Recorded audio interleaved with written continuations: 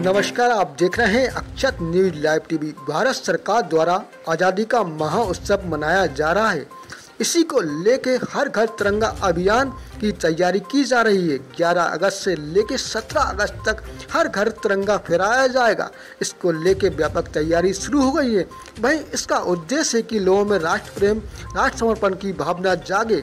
साथ ही हमारे शहीदों द्वारा जो प्राण निछावर किए गए हैं राष्ट्र के प्रति, उनके बारे में लोग जाने और उनको नमन करें। इस कार्यक्रम को व्यापक बनाने के लिए व्यापार एसोसिएशन के अध्यक्ष राजेश अग्रवाल ने भी लोगों से आग्रह किया है कि हर घर तिरंगा फहराने वाले अभियान को सफल बनाएँ, साथ ही अपने हर घर तिरंगा ज़रूर फहराएँ। नमस्कार, मैं राजेश अग्रवाल, अध्यक्ष व्यापार एवं उद्योग महासंघ गुना, वैश्य समाज जिला गुना।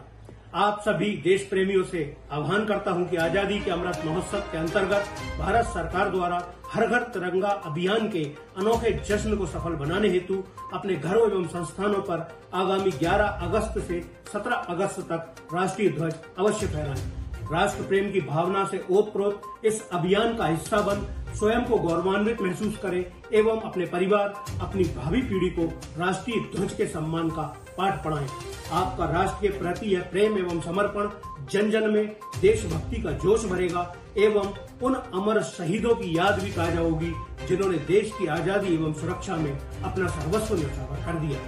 आज कई क्षेत्रों में हमारा देश दुनिया में अग्रणी है। यह वर्ष हमारी उपलब्धियों के महिमा गान का वर्ष है। कल्पना करें कि जब हम हमारे देश के हर शहर, हर गाँव हर घर में तिरंगा लहराता देखेंगे तो प्रत्येक देशवासी इन अविस्मरणीय पलों को अपने जेहन में कैद कर आजीवन सहेजना चाहेगा। चूँकि कतई नहीं, अपना राष्ट्रीय ध्वज आज ही सुरक्षित करें। हम बेहद सौभाग्यशाली हैं कि यह पल हमें नसीब हो। राष्ट्र प्रेम और राष्ट्र भावना का है आज़ादी का महोत्सव।